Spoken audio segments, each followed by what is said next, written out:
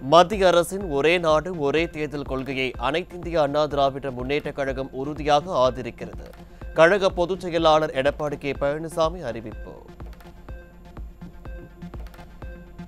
ஒரே நேரத்தில் தேர்தல் நடத்துவது நாட்டின் வளர்ச்சியின் வேகத்தை அதிகரிக்கும். அரசியல் ஸ்திரமின்மையை தவிர்க்கும். நேரத்தை சேமிக்கவும் பெரும் செலவையை குறைக்க முடியும் என கழக பொதுச் செயலாளர் எடப்பாடி கே. பழனிசாமி அறிவிப்பார் தேர்தல் வெற்றிக்காக இடையில் அறிவிக்கப்படும் ஜனரஞ்சக திட்டங்களை விட வளர்ச்சிதான் ஆட்சியின் முக்கிய குறிக்கோளாக இருக்கும். முன்னாள் குடியரசுத் தலைவர் தலைமையிலான குழு நாட்டின் வளர்ச்சிக்கு ஆதரவாக வலுவான மற்றும் விரைவான முடிவை எடுக்கும் என அதிமுக பொதுச் செயலாளர் எடப்பாடி கே பழனிசாமி நம்பிக்கை.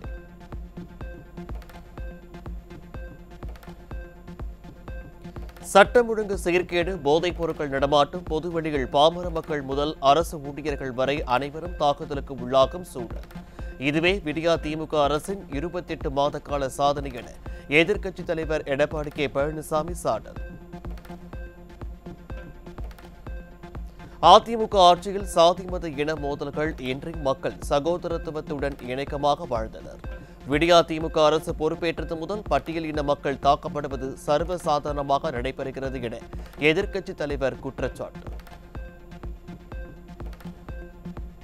திறமையான காவல் அதிகாரிகளை பணியில் ஈடுபடுத்தி இரும்புக்கரம் கொண்டு போதைப் பொருட்கள் நடமாட்டத்தை ஒடுக்க வேண்டும். தவறும் பட்சத்தில் விடியா திமுக ஆட்சியாளர்களுக்கு தமிழக மக்கள் விரைவில் தக்க பாடம் புகட்டுவார்கள் என எதிர்க்கட்சித் தலைவர் எச்சரிக்கை. வரும் நான்காம் தேதி கழக பொதுச் செயலாளர் எடப்பாடி கே. பழனிசாமி தலைமையில் அதிமுக ஆலோசனைக் கூட்டம். புரட்சித் தலைவர் எம்ஜிஆர் மாளிகையில் நடைபெறும். அதிமுக மாவட்ட செயலாளர்கள் எம்பிக்கள் எம்எல்ஏக்கள் மற்றும் மதுரை மாநாட்டு குழுவினருடன் ஆலோசனை நடைபெறும் என தலைமைக் கழகம் அறிவிப்பு. கடலூர் மாவட்டம் திட்டக்குடி அருகே வாரிசு அமைச்சரை வரவேற்பதற்காக நூறு நாள் வேலை திட்ட பணியாளர்களை சொகுசு பேருந்தில் அழைத்து சென்ற திமுகவினர். என்எம் ஆறில் கையெழுத்து வாங்கிவிட்டு பாதியிலேயே அழைத்து சென்ற வீடியோ வைரல். நூறு நாள் வேலை இல்லை இன்னைக்கு அப்புறம்? போட்டோ எடுத்துட்டோமே போட்டோ எடுத்துட்டு? போட்டோ எடுத்துட்டு அப்படியே கிளம்பிட்டோம். போட்டோ எடுத்துட்டு அப்படியே கிளம்பிட்டீங்களா? என்ன இத்தனை பேரா? யாருமே அங்க வேலை செய்யறதுக்கு ஆள் இல்ல. ஈரோடு அக்ரஹாரம் பகுதியில் கனமழையால் வீட்டின் சுவர் இடிந்து விழுந்து விபத்து. வீட்டில் உறங்கிக் கொண்டிருந்த தாயும் மகனும் சம்பவ இடத்திலேயே பரிதாபமாக உயிரிழப்பு. சென்னை டி நகரில் மூத்த குடிமக்களின் வீட்டில் வாடகைக்கு இருந்து கொண்டு காலி செய்ய மறுத்த திமுக வட்ட செயலாளர்.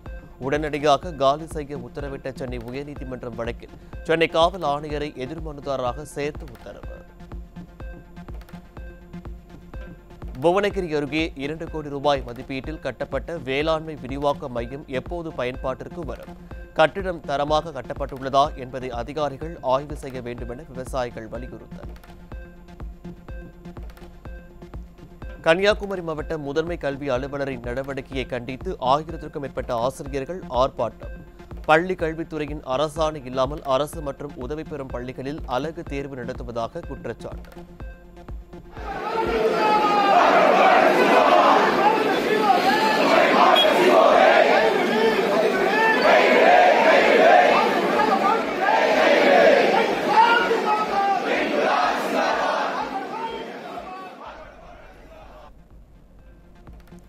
திருத்துறைப்பூண்டி அருகே டாஸ்மாக் கடையை அகற்ற கோரி பெண்கள் முற்றுகையிட்டு போராட்டம். மது பிரியர்கள் குடித்துவிட்டு சாலைகள் ரகளையில் ஈடுபட்டு வருவதாக குற்றச்சாட்டு. வேதாந்தியம் தடாகா ஸ்ரீ நன்கேஸ்வரர் ஆலயத்தில் திருக்குட நன்னீராட்டு விழாவையொட்டி அதிமுக சார்பில் வைக்கப்பட்ட டிஜிட்டல் பேனர்கள். நகராட்சி அனுமதியுடன் வைக்கப்பட்ட டிஜிட்டல் பேனர்களை அகற்ற போலீஸ் துணையுடன் நகராட்சி பணியாளர்களை குவிந்ததால் பரபரப்பு. கரூர் அருகே ஐந்து தலைமுறையாக பயன்படுத்தி வந்த கோவிலை பொதுமக்கள் எதிர்ப்பையும் மீறி இடிக்க வந்த அதிகாரிகள். கோவிலுக்காக போடப்பட்ட பந்தலையும் சுவாமி சிலைகளையும் அகற்றிய போது பெண்கள் அருள் வந்து ஆடியதால் பரபரப்பு.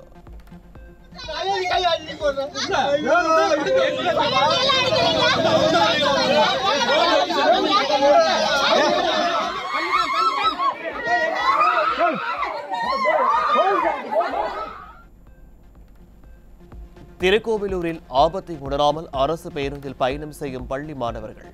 காலை மாலை நேரங்களில் கூடுதல் பேருந்துகள் இயக்க பெற்றோர்கள் கோரிக்கை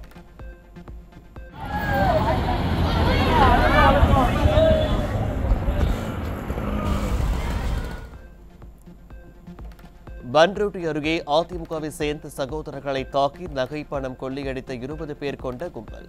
போலீசார் நடவடிக்கை எடுக்காததால் பாதிக்கப்பட்டவர்கள் மாவட்ட காவல் கண்காணிப்பாளரிடம் புகார்.